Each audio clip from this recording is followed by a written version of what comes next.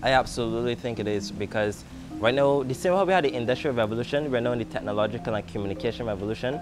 And I feel like the market has become oversaturated with everybody else's culture, also imitations. Because you have artists that would hear, uh, they would go to some places in Africa like Senegal, and they would hear a sound or even a way of pronouncing a word, and they would go and take it and Americanize it and sell it in the American market. So I think if we don't use it, we can lose it. So I think it's very important for us to express our culture and own our culture before somebody else owns it for us.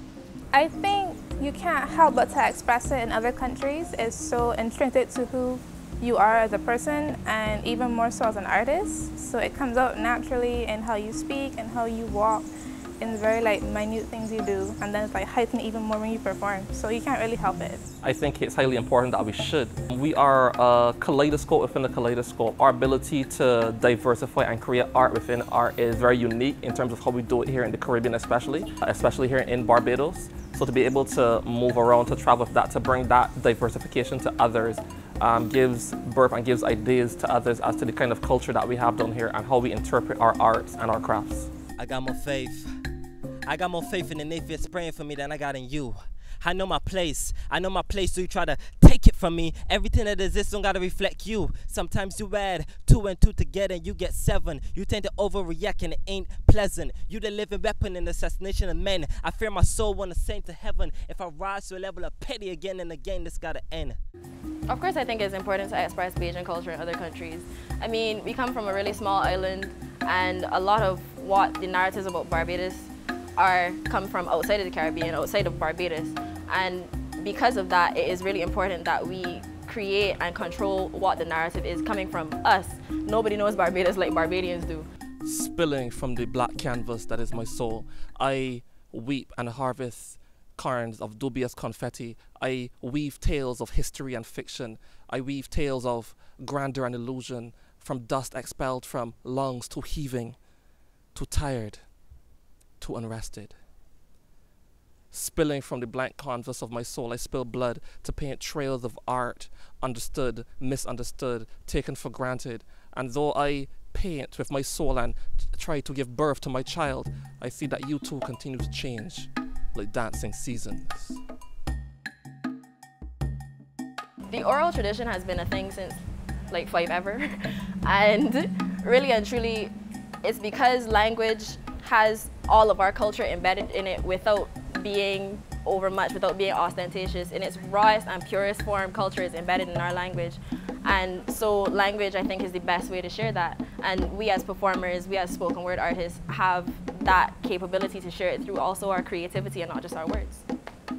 Word is very different um, when you're thinking about the arts. Visually, when you see theater arts, you, uh, you see uh, portraits, paintings, you already have the visual and you have the idea and the story. Words are different. Words give you an ideal to work off of, so you then have to create and visualize the concept that the artist is trying to put forward or the idea that you think they're trying to put forward. That in itself creates new art. So bringing that to life and being able to perform that is very, very important and carrying it overseas and having that diversification from the Caribbean aspect of spoken word and poetry to create that new ideal and visualization will also create curiosity as to what would have created the conceptualizations, ideals, and words that were used. This poet is not made to order, and there's a good chance you're gonna get more than you bargained for. She is passionate about poetry, fascinated with how the words flow free, how they wind in chaotic choreography, gliding graceful like gazelles across your sensory Serengeti, arousing impactful imagery in your imagination.